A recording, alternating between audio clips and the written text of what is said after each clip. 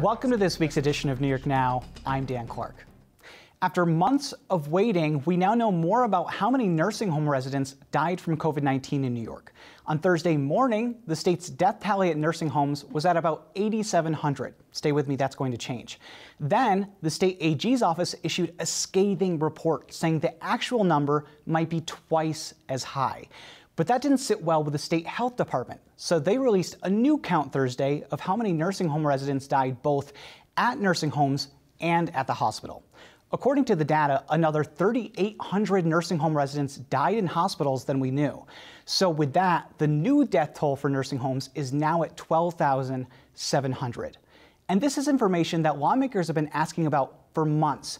Here's Senate Investigations Chair James Skoufis this week before it was released. I think it's an insult to the legislature that the Department of Health is stonewalling us. And we should not be waiting for a very basic set of answers, and not just on the deaths in hospital statistics, but we sent a letter with a whole host of questions uh, that has largely been ignored. And now some Republicans are calling on the state health commissioner to resign. Let's discuss with this week's panel. Karen DeWitt is from New York State Public Radio, and Darrell Camp is from Talk 1300. Thank you both for being here. Nice to be here. So, Karen, let's talk a little bit more in depth about the report first.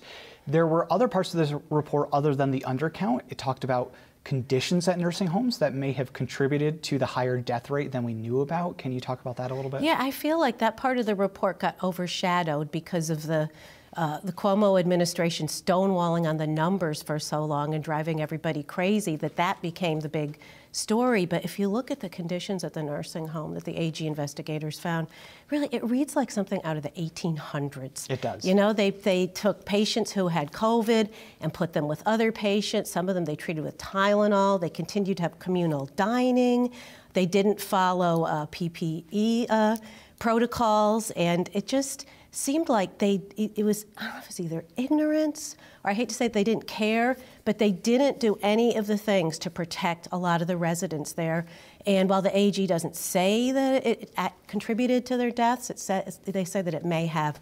And you just have to wonder what was the Department of Health doing all these years that it came to this in the nursing homes that they were so unprepared and really didn't didn't know any of the things they were supposed to be doing. It was just sad more than anything reading the report and seeing that these patients were put at risk because of low staffing levels at a lot of homes. There weren't enough staff for the number of patients. The staff didn't follow infection control protocols apparently. And then one thing that really stuck out to me was that some of the staff were pressured to work even if they had symptoms or were diagnosed with the coronavirus, which obviously, if uh, PPE can only go so far, yeah. there's always that risk there that you could infect somebody. And I think you're exactly right. If we weren't so obsessed about the nursing home death count, I think that that would have been the bigger story. And I imagine for lawmakers, it probably will be the bigger story in the next few months. Maybe they'll do something legislatively uh, Darrell, I want to go to you. How are lawmakers responding to the report? Obviously, we have the death undercount, we have the conditions at nursing homes. What are people saying? Well, I spoke to Democrats and Republicans yesterday on several levels of government, and what you would expect from Republicans is essentially what they said. They would like for Howard Zucker to resign, and the governor, they're not necessarily calling for him to resign universally, but a lot of them say, hey, he's been dishonest, so he's kind of complicit as well. Uh, John McDonald actually had a very unique position on this.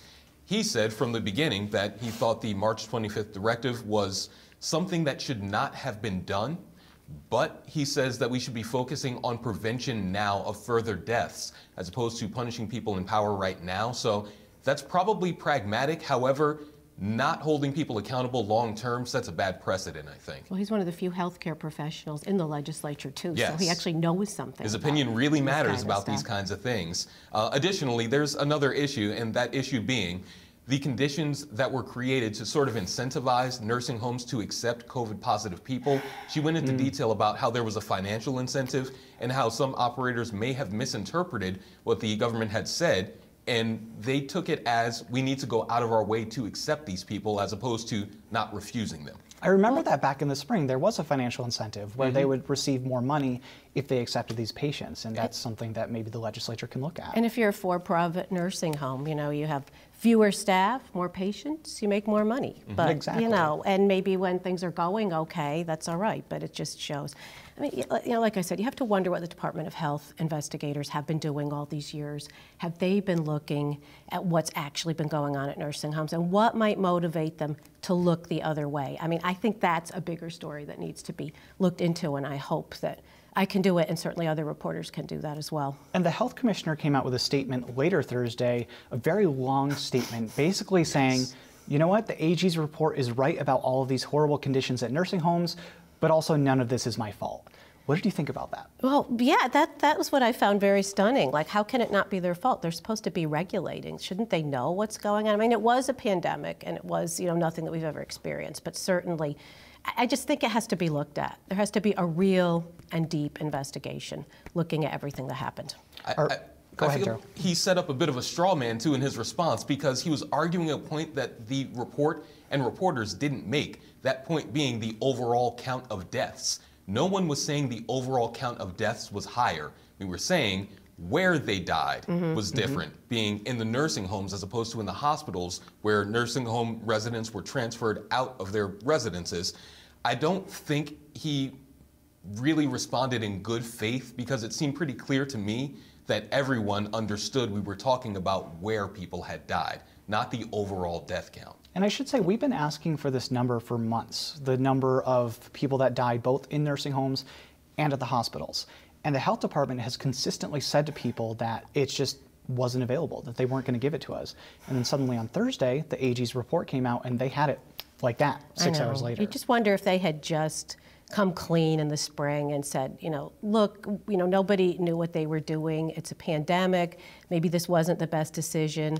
This is how many people who who died in nursing homes. It wouldn't have become such a big issue. And frankly, now it's you know it's been national news, and it may seem crass to talk about politics right now. But Governor Cuomo, he wrote a book on how he fixed COVID. He won, he won an Emmy. And um, this just looks really bad for him. It Governor does. Cuomo also said that it was a political hit from Republicans and the far right every time. Bernadette, for weeks, was on him about the nursing home deaths and numbers, the March 25th issue, and he said it was political.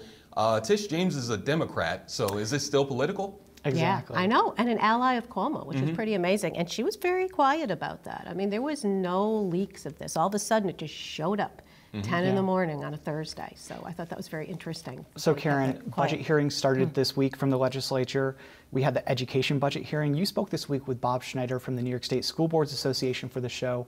Give us some quick highlights, and then we're going to play the interview. Well, school funding, a big, big deal. $15 billion uh, budget deficit. Governor Cuomo wants to use some funds earmarked for pandemic relief to make up for the state school aid.